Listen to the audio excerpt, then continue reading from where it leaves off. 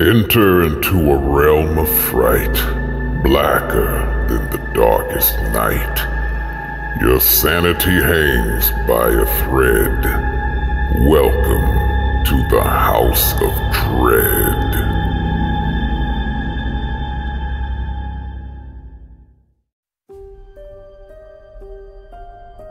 Most of us, at some point in our lives, have experienced the stressful situation of needing extra money.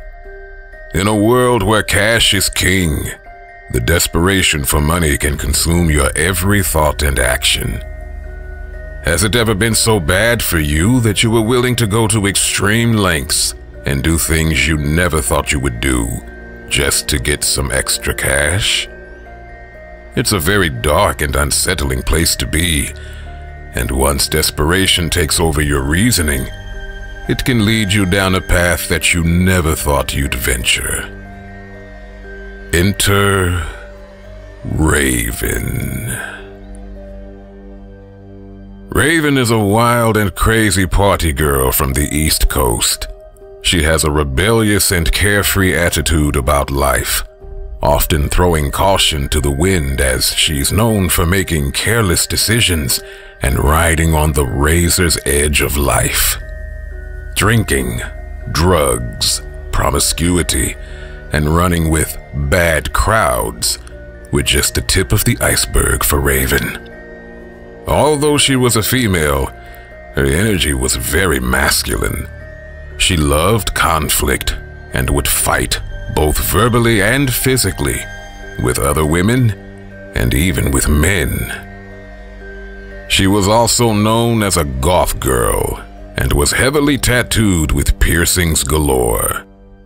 Raven came from what many would consider to be a broken home. Her father was an overweight, raging alcoholic who never held a job for more than several months. And her mother was a drug addict who often disappeared for days at a time.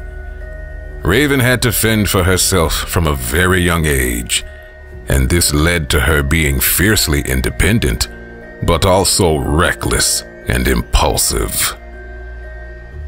As a young adult, Raven was struggling immensely to get on her feet. Taking after her father, it was common for her to randomly quit jobs after only a few months, with no compelling reasons as to why. This caused Raven to develop an inconsistent work history that, on paper, made her look unemployable. The instability and financial pressures that came as a result of Raven's negligent lifestyle drove her into a deep depression, and just like her mother, she resorted to drugs to numb the pain of her empty and unfulfilling life. But of course, Drugs only made things worse. Raven was sliding down a slippery slope and was trying desperately to get a grip on herself. The cold hard truth was that Raven simply shunned responsibility. She'd basically spent her entire life as a free spirit, and the last thing she wanted was to join the adult world of commitments and obligations. It was apparent, however, that Raven's rebellious attitude of never wanting to grow up was destroying her life, and the struggle to get through each day was becoming more and more of a battle. One of Raven's friends convinced her to join a support group in the hopes that she would get some positive reinforcement that would inspire her to get her life back on track. During one of the group's nightly meetings, Raven's counselor asked her if she'd had ever considered going back to school to further her education and establish herself in a career so she could finally get off the hamster wheel of minimum wage jobs. Although Raven wasn't opposed to the idea, she was totally clueless as to what she would study. Raven's chaotic and traumatic life had caused her to lose sight of her passions and interests she couldn't even remember the last time she stopped to think about what really made her happy. After meditating on it for some time, Raven realized that she'd always been fascinated by forensic science the study and analysis of evidence related to crime scenes. This particular field intrigued Raven due to her love of the macabre and the darker aspects of the human experience. She entertained fantasies of solving gruesome crimes and putting away the bad guys. She imagined it would be a perfect fit for her. There was just one problem. Raven was flat broke and had no way of paying the expensive tuition for the classes. After doing some research, she discovered that even if she got financial aid and went to a community college, she was still going to need at least $5,000 just to get started. But Raven wasn't ready to give up. For the first time in her life, she had a worthwhile goal to pursue, and she was determined to find a way. At first, Raven assumed that she would just get another job and start saving her pennies. She figured that having the goal of going back to school to learn something she was excited about would give her more incentive to maintain her job instead of quitting like she always did. Unfortunately, however, Raven quickly found out that saving money wasn't as easy as it sounded. Every time she would start to stack a little cash, something would cause her to spend it. Her car would break down, or some other random emergency would take place, forcing her to spend her little nest egg. Raven was starting to feel like life was conspiring against her, and she was losing patience with making one step forward only to have to take two steps back. Raven started looking for ways to supplement her income she brainstormed a list of side hustles she could take on to try and raise the money for her schooling. She thought about something she could do in the evenings or possibly on the weekends that would give her pockets a little extra padding. One day, as Raven was job searching on Craigslist, she came across a compelling ad for a part-time caretaker position. The ad read, are you in need of some extra cash? Looking for a part-time job that offers flexibility and requires no prior experience? We may have the perfect opportunity for you. We are currently seeking a part-time caretaker for an elderly woman in need of assistance.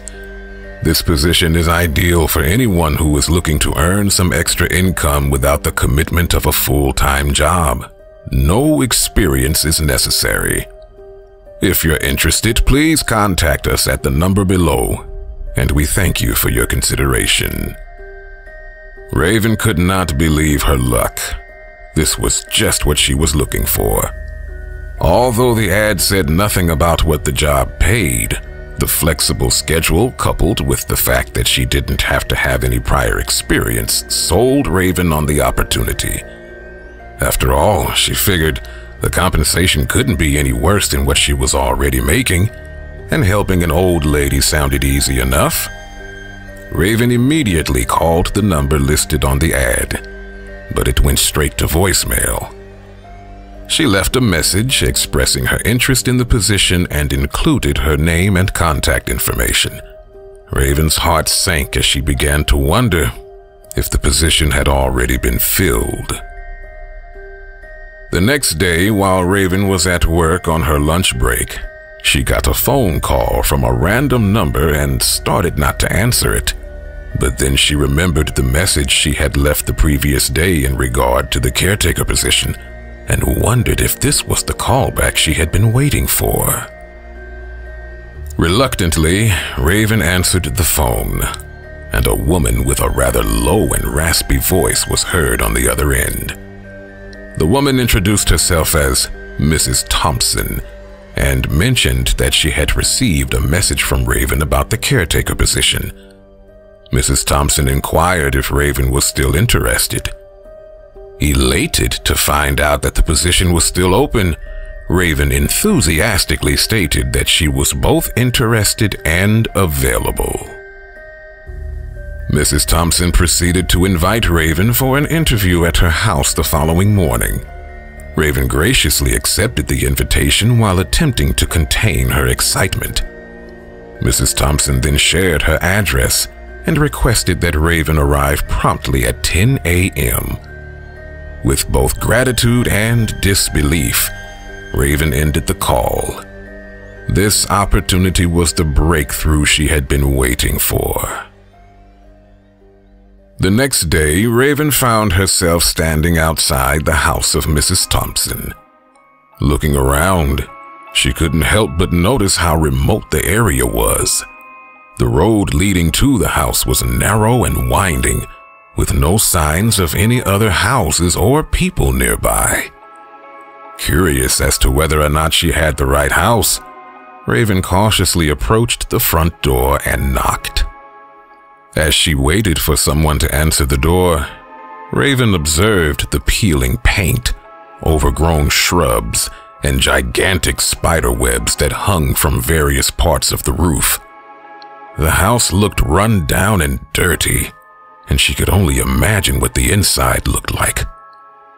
Raven knocked again, but by now part of her was hoping no one would answer, as she was starting to have second thoughts. Suddenly, the door opened. Mrs. Thompson stood before Raven with a piercing gaze in her eyes that made Raven feel a little intimidated. Raven introduced herself and explained that she had inquired about the caregiver position and had an appointment to meet with Mrs. Thompson. Mrs. Thompson then proceeded to look Raven up and down, observing her tattoos and piercings. She seemed a bit disappointed and thrown off by Raven's gothic look, but eventually gestured for Raven to come inside. As Raven stepped inside the old house, a wave of unease washed over her. The atmosphere felt eerie, as though the house had been frozen in time. The walls were adorned with fading wallpaper, peeling and discolored from years of neglect. The floors creaked with each step, adding to the unsettling ambiance. A strong, musty smell hung heavy in the air, a combination of old books, aging wood, and forgotten memories. The scent seemed to seep into every corner of the house, enveloping Raven in a sense of age and decay. Raven caught sight of a shelf furnished with a row of old creepy dolls. Their glassy eyes seemed to follow her, their porcelain faces frozen in twisted smiles. The furniture, covered in a thick layer of dust, seemed as neglected as the rest of the house. The cushions were faded and worn, giving off an aura of abandonment. The once vibrant fabrics now seemed lifeless and dull. Mrs. Thompson invited Raven to have a seat on one of the couches in their main living area so they could begin discussing the particulars of the job. As they sat, Mrs. Thompson reached for a hot cup of tea and began stirring it ever so slowly. The clinking sound of the spoon against the cup seemed to reverberate through the entire house that was otherwise eerily quiet. Mrs. Thompson began the interview by asking Raven exactly why she was interested in the position. Raven explained that she was trying to go back to school to study forensic science and that she needed the extra money to pay for her tuition and classes. Raven thought sharing this information with Mrs. Thompson would give her a better chance of landing the job. She assumed Mrs. Thompson would be able to empathize with a young person trying to further their education and better themselves. Instead, however, Mrs. Thompson merely sat there with a blank stare on her face, looking totally unimpressed. After a moment of awkward silence, Mrs. Thompson proceeded to ask Raven exactly how much money she needed. Now, this kind of put Raven on the spot, and she felt a bit uncomfortable giving these details to Mrs. Thompson, but she finally stated that she would need at least $5,000 for her enrollment. Again, Mrs. Thompson merely sat with a blank stare. Her eyes were cold, and she seemed to never blink. Raven began to feel as though Mrs. Thompson was judging her. Naturally, this made Raven feel very uneasy, and she was on the verge of telling Mrs. Thompson that she had reconsidered, as she was literally preparing to walk out of the interview. Suddenly, Mrs. Thompson made Raven an offer that she simply could not refuse. Mrs. Thompson went on to explain to Raven that she would in fact be willing to pay her $5,000 a month for her services. Raven would also be paid $2,500 in cash up front if she could start the next day, and would receive the remaining $2,500 at the end of the month, at which time Raven could give an evaluation of the job and let Mrs. Thompson know if she wished to continue her duties as a caretaker. Raven couldn't believe what she was hearing. $2,500 in cash up front for doing absolutely nothing? Raven felt it was inappropriate to accept such a large sum of money without having rendered any services, but Mrs. Thompson insisted. Well, Raven certainly wasn't going to argue against such a generous proposition. In an instant, Raven went from feeling offended by Mrs. Thompson's cold demeanor to feeling optimistic and hopeful. She definitely needed the money, and to think that in a mere 30 days she could be on her way to living her dream of becoming a forensic scientist. The deal was simply too good to pass up. Raven then proceeded to ask Mrs. Thompson for a description of some of the services she would be providing. Mrs. Thompson explained that her services would include things like cleaning the house, doing the laundry, and cooking meals.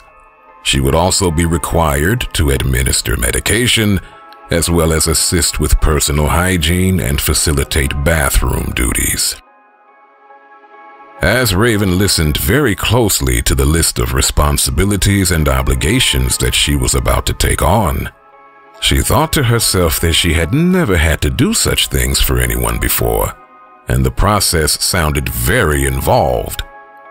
But since Mrs. Thompson had stated that no experience was necessary, Raven thought to herself, how hard could it be? Besides, by now Raven was fixated on the prospect of having $5,000 cash to continue her education and start her new life.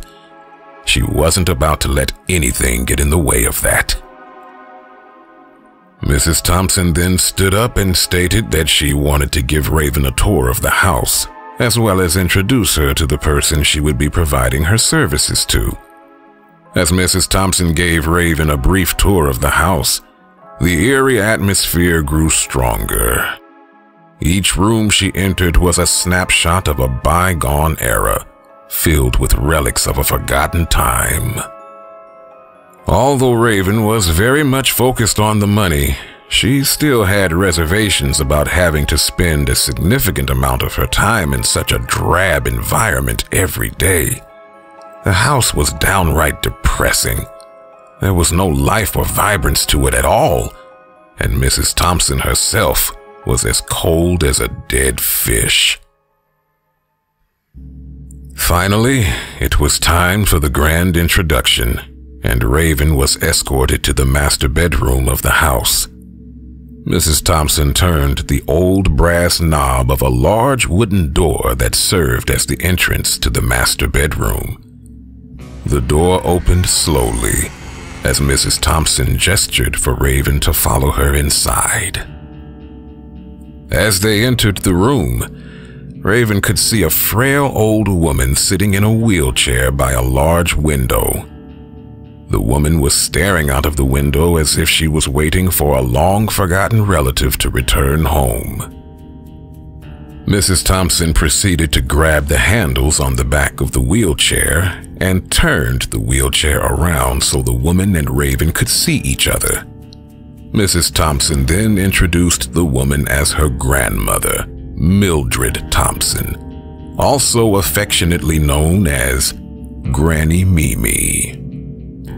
Raven carefully extended her hand to Granny Mimi in an effort to introduce herself, but Granny Mimi didn't reciprocate. Instead, she merely sat staring into space. Her eyes were empty and sad. Raven felt awkward as she asked Mrs. Thompson if Granny Mimi could even speak. Mrs. Thompson explained that Granny Mimi could indeed speak, but that she rarely ever did.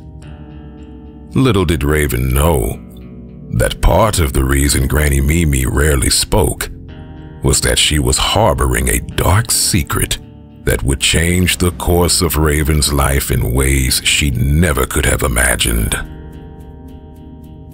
And so, Raven began settling into her new role as Granny Mimi's caretaker.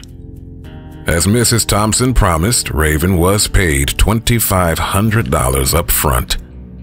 Raven decided to keep her day job so it would be easier to keep from disturbing her nest egg. It was a great financial decision, but it was grueling on Raven's time and energy.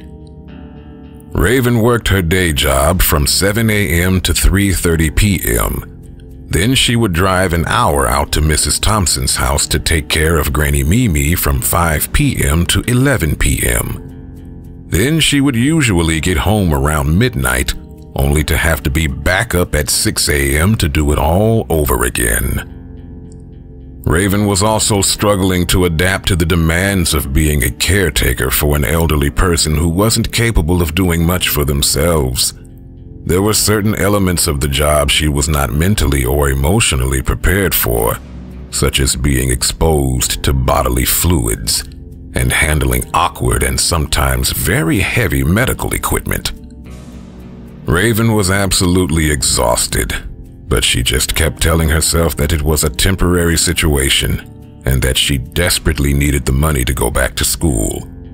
It gave her the drive and motivation to push through the discomfort. This was a dramatic difference from the impulsive, carefree existence that Raven had lived for most of her life. She finally had joined the world of adult responsibility, and although it was tough, she felt like she was growing and indeed, she was. Raven tried hard to develop a bond with Granny Mimi, but she couldn't help feeling a sense of unease whenever she was in the old woman's presence. Day after day, she would sit by Granny Mimi's side, engaging in one-sided conversations, hoping to get Granny Mimi to open up. But the old woman remained silent, her eyes fixed on something unseen, as if trapped in a world of her own. About two weeks into her new caretaking role, Raven was finally starting to find her rhythm. She was becoming increasingly adapted to the new routine and had developed ways of making her work easier, faster, and more efficient. Just as Raven was starting to feel as if she had everything under control, she started noticing some very off-putting behavior from the granddaughter, Mrs. Thompson.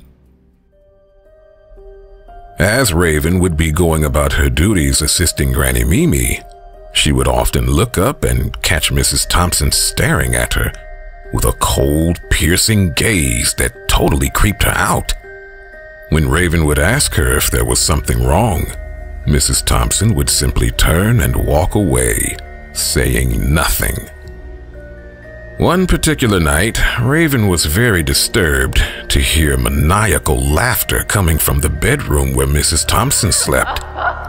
When Raven knocked on the door to once again ask Mrs. Thompson if everything was okay, the laughter immediately stopped and was replaced by an eerie and deadening silence. Strangest of all, Mrs. Thompson never came and answered the door. Raven slowly backed away from the room and decided it was probably best to leave Mrs. Thompson to her own devices. Raven's unease grew with each passing day, making it difficult for her to focus on her work. She couldn't help but feel as if her every move was being watched. Raven was also beginning to think that Mrs. Thompson was taking great pleasure in making her feel uncomfortable.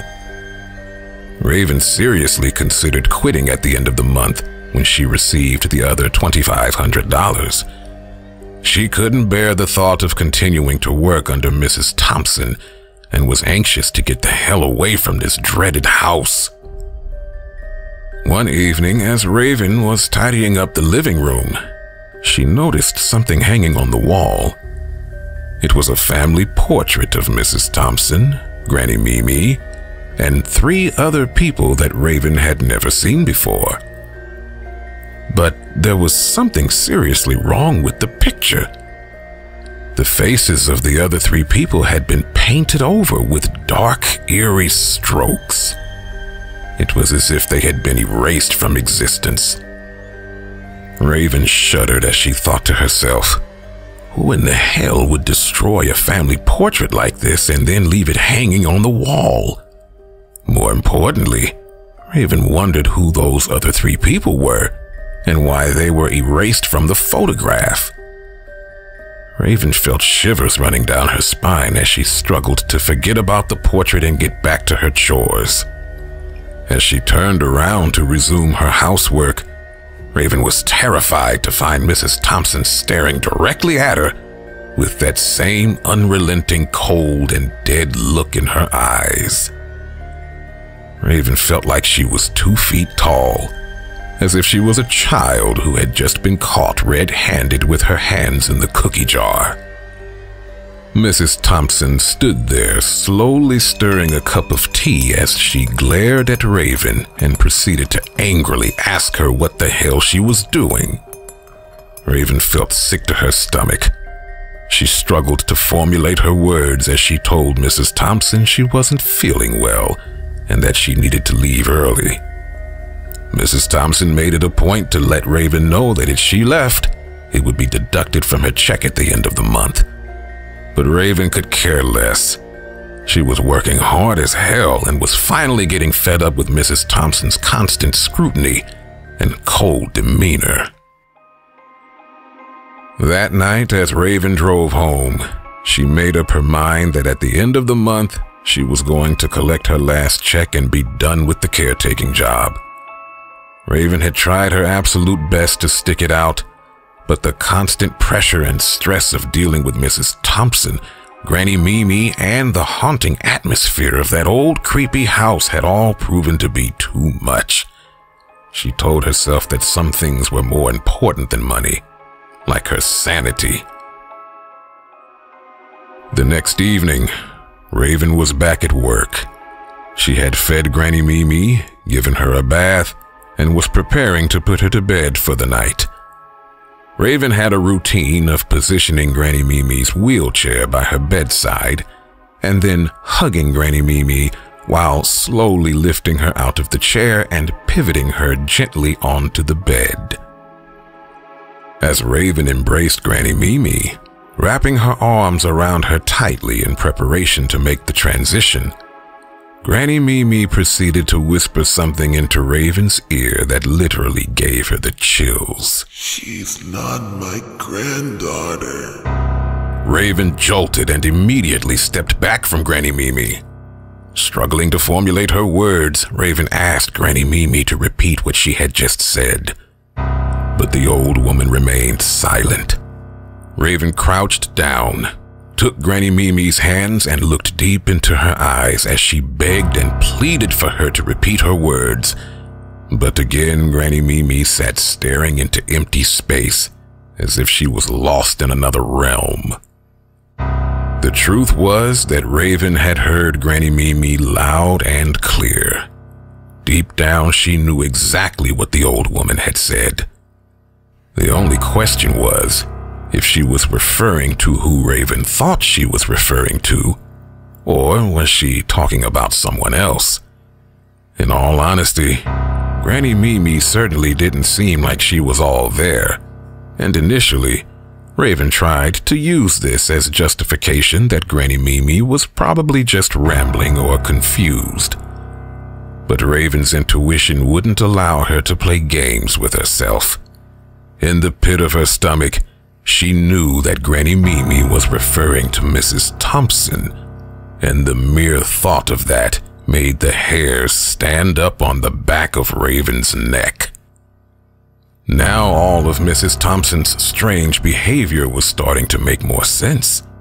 And if Mrs. Thompson was indeed not Granny Mimi's real granddaughter, then who the hell was she? Raven felt shivers running down her spine, and she was trembling as she wondered who she had been working for all these weeks. Raven was totally terrified. She had already told herself she'd be quitting the job at the end of the month once she collected her second check, but now she was wondering if she even wanted to stay that long. That night when Raven returned home, she couldn't eat or sleep. Granny Mimi's words kept circling in her mind like a nightmarish carousel. All Raven could do was wonder how she ended up in such a drastic situation. Of course, her need for extra money was definitely part of it. But now she was starting to care less about the money and more about her personal safety. Raven seriously considered calling Mrs. Thompson in the morning to report her immediate resignation but she was still a long way away from having the money she needed for school. Raven tossed and turned in the bed all night as she began to feel like she was stuck in a lose-lose situation. Finally, Raven rationalized that since there was only one week left before the end of the month, it was probably worth it to at least try and tough it out so she could collect her last check. Raven told herself that she would simply keep her head down and her mouth shut. Acting as if nothing had changed, she would attend to her duties as normal to avoid arousing any suspicion from Mrs. Thompson. Raven was scared to death, but she desperately needed that money, and it was so close. At least on the surface, her plan sounded somewhat reasonable.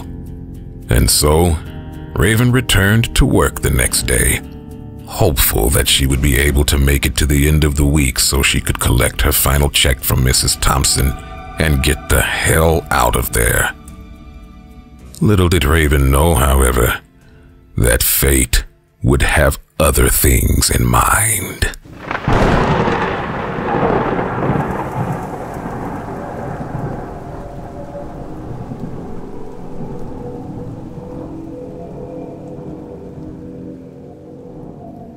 The next night, a terrible thunderstorm was brewing as Raven was giving Granny Mimi her evening meal. Suddenly, Granny Mimi became sick and regurgitated on the floor. Frustrated and trying hard to hide her shock and disgust, Raven compassionately asked Granny Mimi if she was okay. Then she told the old woman to wait as she left to retrieve the mop and bucket. As Raven searched for her cleaning supplies, she found Mrs. Thompson at the kitchen table having some tea. Mrs. Thompson sat with her legs crossed, staring intently at her cup, slowly stirring the tea as if it were a witch's brew. Once again, the clinking sounds of the spoon against the teacup echoed through the entire house as time seemed to stand completely still. Raven approached the table and proceeded to inform Mrs. Thompson that Granny Mimi had become sick and that she needed the mop and bucket, but both items had been moved from their original place. Mrs. Thompson kept staring at her teacup, and without even so much as looking up to make eye contact with Raven, she mumbled that both the mop and bucket were in the basement. Once again thrown off by Mrs. Thompson's lack of emotion, Raven said thanks and slowly backed away from the kitchen table. She watched as Mrs. Thompson kept mechanically stirring her tea, but never raised the cup to take a single sip. Raven shook her head as she thought to herself, just one more week. Raven descended down the stairs into the basement in search of the mop and bucket. The basement was a hoarder's dream, as it was filled with stacks of boxes, old furniture, and various knickknacks that the Thompsons had most likely been holding on to for generations.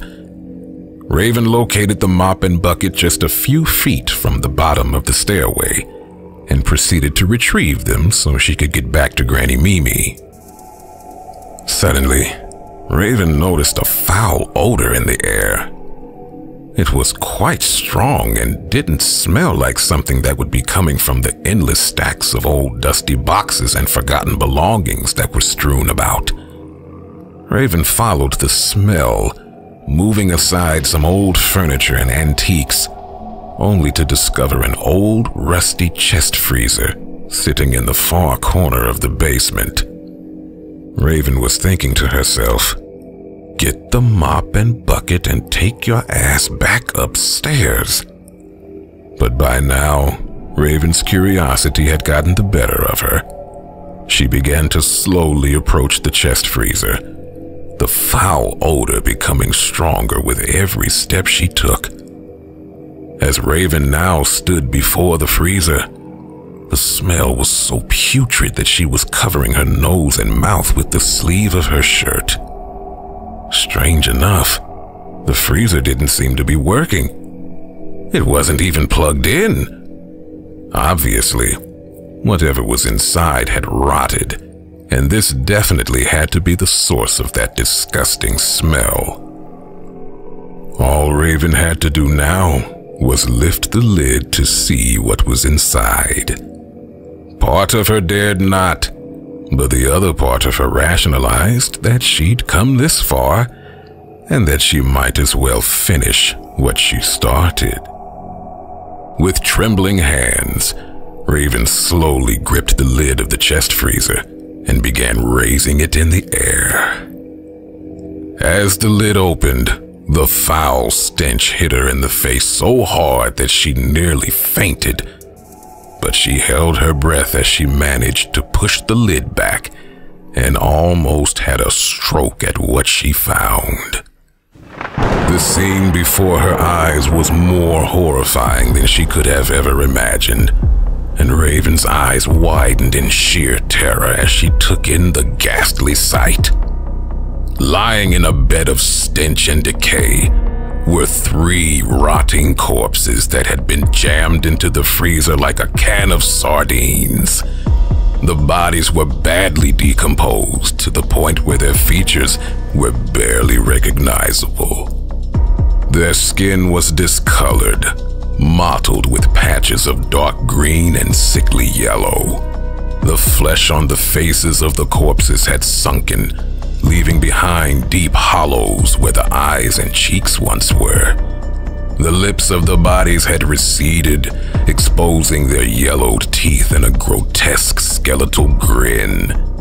Raven could see the outline of their bony frames, skin clinging to their now emaciated bodies.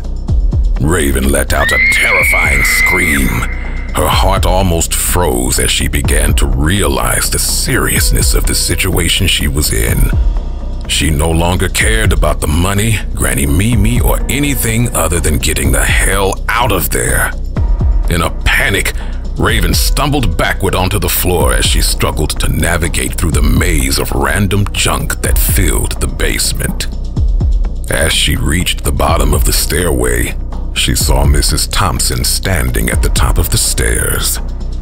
Raven was totally speechless as her and Mrs. Thompson locked eyes with each other.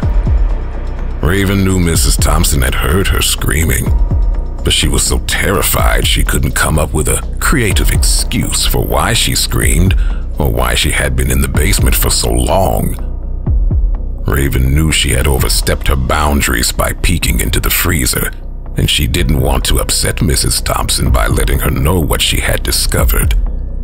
Raven was scared out of her mind, and all she wanted to do was go home. Little did Raven know, Mrs. Thompson knew exactly why she was screaming.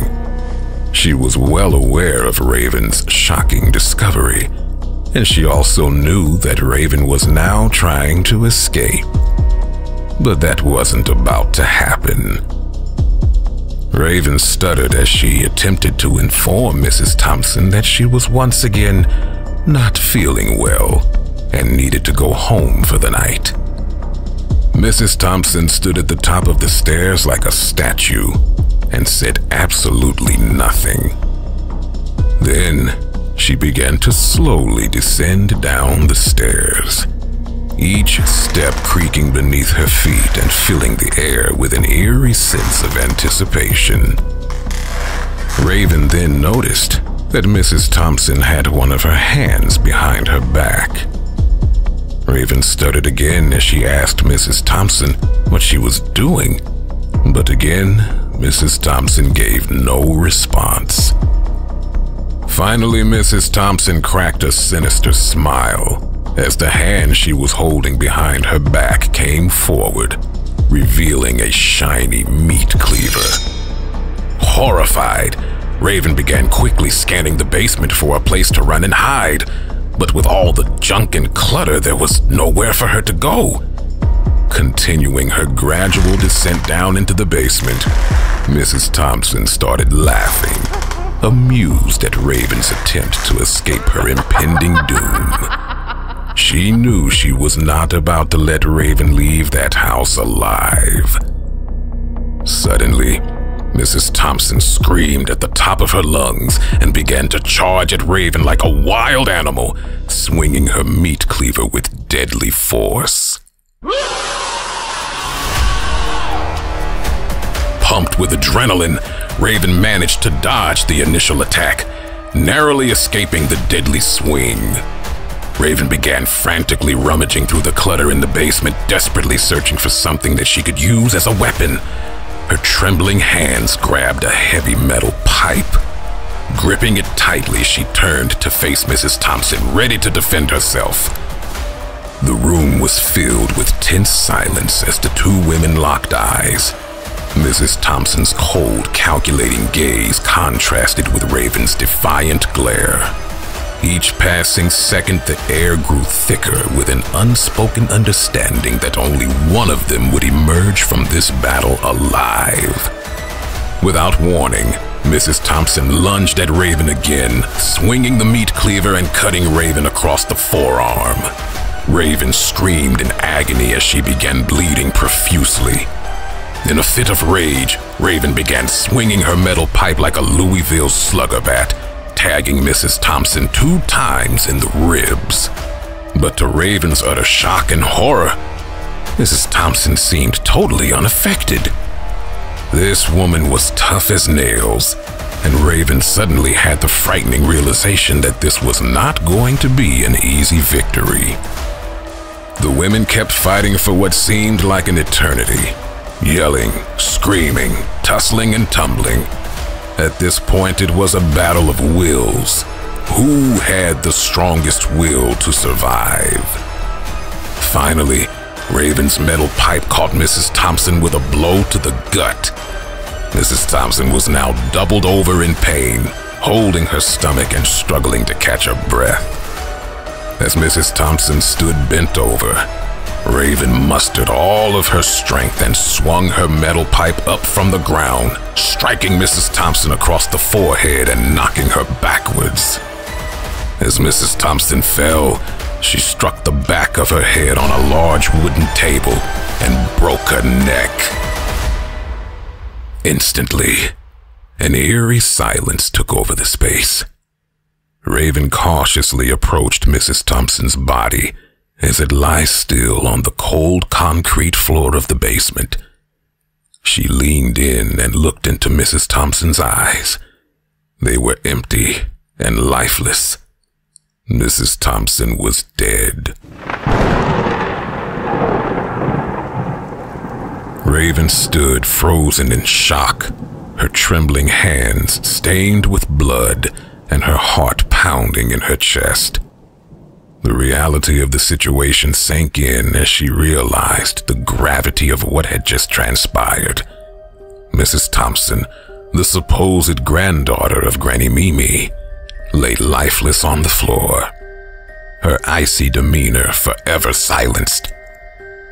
Meanwhile, Raven was left with the responsibility of picking up the pieces of this grossly traumatic experience she knew proving her innocence to the authorities wouldn't be easy, but it was the only way she'd be able to move on with her life. During the investigation, Raven was eventually ruled out as a suspect. Granny Mimi was transferred to a local nursing home, and the Thompson residence was boarded up and sealed forever. One of the officers met with Raven and gave her the background story on Mrs. Thompson. As it turns out, Mrs. Thompson's real name was Ethel Mayflower, and she was the original longtime caretaker for Granny Mimi. In fact, Ethel had been taking care of Granny Mimi for over 20 years and had become a very close and trusted friend of the Thompson family. Ethel also served as Granny Mimi's conservator and was responsible for at least most, if not all, of her financial affairs. She had access to Granny Mimi's personal accounts, which were in the millions, and ensured that all of her medical expenses were met and that her bills were paid on time. The Thompsons were a family of wealthy real estate tycoons going back at least two generations. According to Granny Mimi's will, upon her passing, her estate was to be inherited by her three adult grandchildren Ted, 46, David, 42, and Sarah, 38. However, Granny Mimi's will also stated that if anything were to happen to her grandchildren, Ethel would be next in line to inherit the estate. In Ethel's mind, she felt like she should have been first in line to inherit the estate for her 20 plus years of service and dedication to Granny Mimi, while the grandchildren did absolutely nothing to help their grandmother and simply came and went as they pleased. Meanwhile, Ethel worked round the clock, cooking, cleaning, taking Granny Mimi to doctor's appointments, and managing her other personal affairs. Ethel felt underappreciated and like she was being taken for granted. This caused her to become angry and bitter towards the Thompson family, particularly towards the grandchildren. As the officer laid out the details, Raven's mind flashed back to that creepy family portrait she found in the living room, where three of the people's faces had been painted over with dark, eerie strokes. She then connected the family portrait to the three corpses she found in the basement. Those were Granny Mimi's real grandchildren.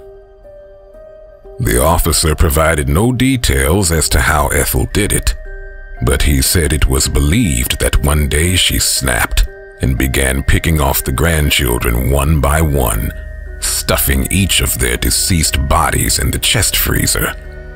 With the grandchildren out of the way, Ethel had successfully positioned herself to inherit Granny Mimi's estate. Raven asked the officer why didn't Ethel just kill Granny Mimi after killing the grandchildren. The officer said he wasn't sure, but it's believed that since Granny Mimi was very sick and seemed like she was so close to death already, Ethel probably figured she could just wait and allow it to happen naturally. Plus, if Granny Mimi died of natural causes, this would have also allowed her to inherit the estate without raising any immediate suspicions of foul play. However, in the short term, Ethel still wanted to get some temporary relief from her obligations to Granny Mimi, which explains why she posted the Craigslist ad trying to recruit replacement caretakers. As the investigation reached its conclusion, Raven couldn't help but feel a mix of relief and sorrow. With the truth exposed, Mrs. Thompson's true identity and her heinous acts had been brought to light. The house that was once shrouded in darkness now stood as a testament to the horrors it held within. Raven began periodically visiting with Granny Mimi in the nursing home she was now in. She would bring her food and flowers, keeping the old woman company and doing what she could to brighten her spirits. Days turned into weeks as Granny Mimi's frail health deteriorated even further. It seemed as if each passing moment brought her closer to her final breath. One day, on what would be Raven's final visit with Granny Mimi, she got a pleasant surprise. Granny Mimi began to talk. Raven couldn't believe it.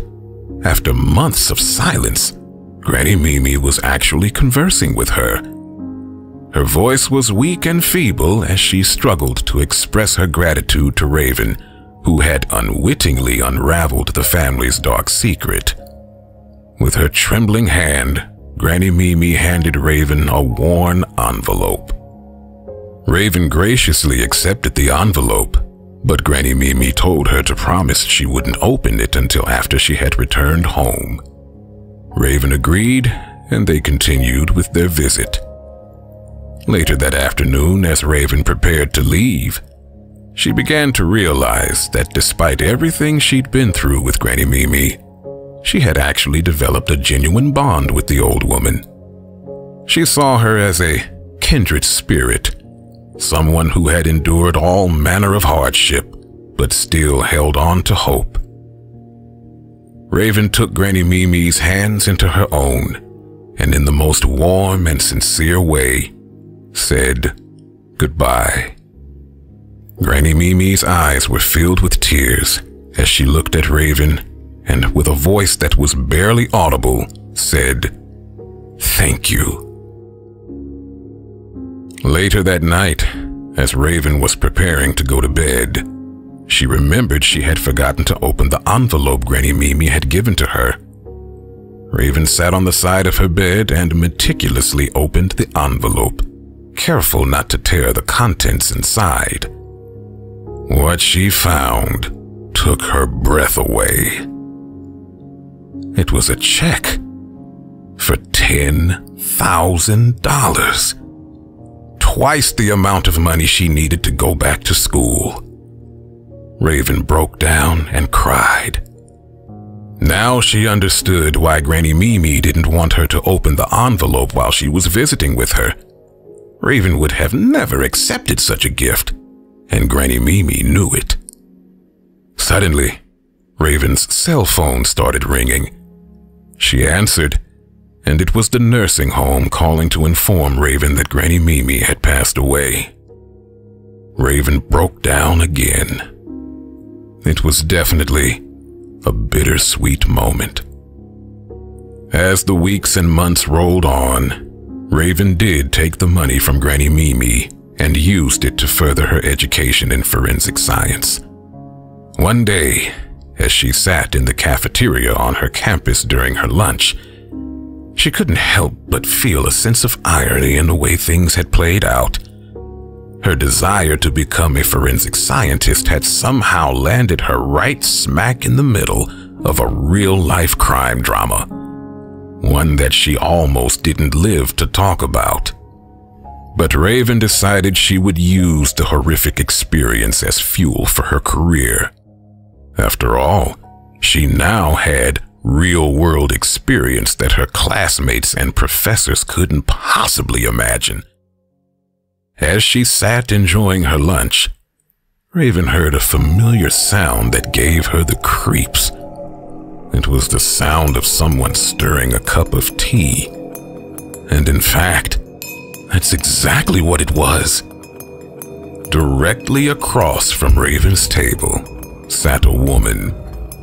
She had her legs crossed and was slowly and mechanically stirring a cup of tea in the precise manner that Mrs. Thompson used to do. Raven shuddered as the clinking sound of the spoon seemed to be getting louder, taking over the entire campus. It was as if the past was haunting her, refusing to let her go. Raven couldn't believe her eyes. Could it be possible that Mrs. Thompson was here on campus? Petrified, and trying hard to ignore the unease that settled in the pit of her stomach, Raven mustered up the courage to approach the woman. As she began walking over to the table, her heart was pounding in her chest. Raven approached, and the woman suddenly looked up. her cold, calculating eyes meeting with Raven's. The woman proceeded to ask Raven, Can I help you? Raven nervously replied, Oh, I'm sorry, but I couldn't help but notice the way you stir your tea. It reminds me of someone I used to know. The woman smiled and said, Well, that's interesting. Raven, who was beginning to feel awkward by now, told the woman to have a nice day as she proceeded to get back to class.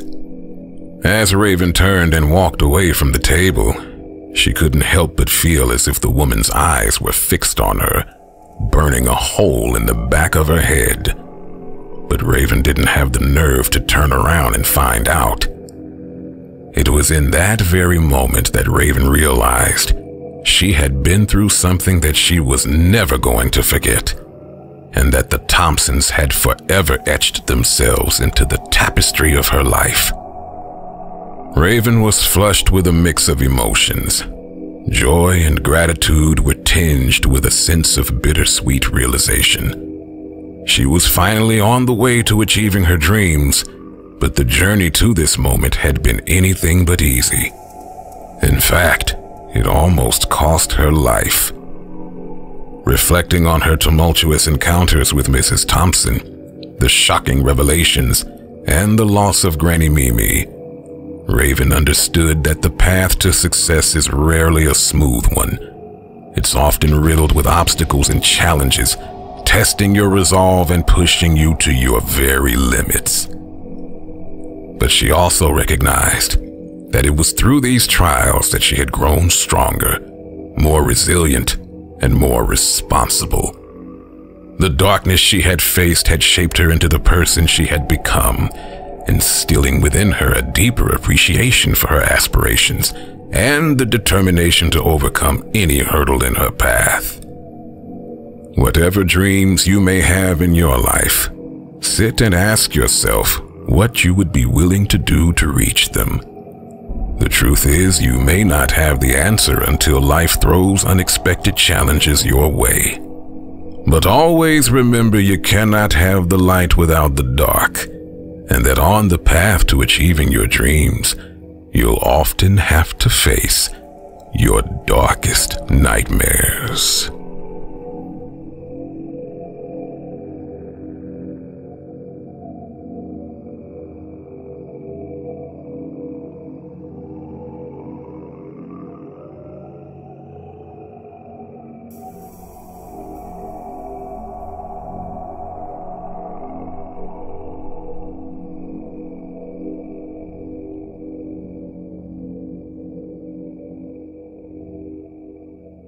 If you enjoyed this presentation, please consider showing your support by liking this video and subscribing to the channel. And if you're in need of a narrator for your next project, or you just want to say hello, contact me at the House of Dread 666 at gmail.com. Until the next tale of terror, this is Victor Bloodborne. Stay dreadful.